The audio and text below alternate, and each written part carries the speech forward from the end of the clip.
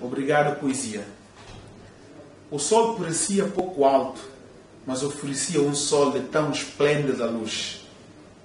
E lá fui eu sentado debaixo dos seus pés, com folha e caneta na mão, comecei por dever de ofício escrever poesias. Juro que não sinto outra harmonia senão em poesia. Ai de mim se por ela não tivesse bastante amor.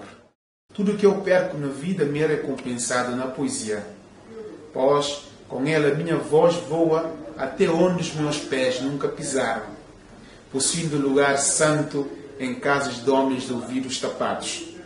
Triste é que não sei se compreendem bem a paz nela escondida.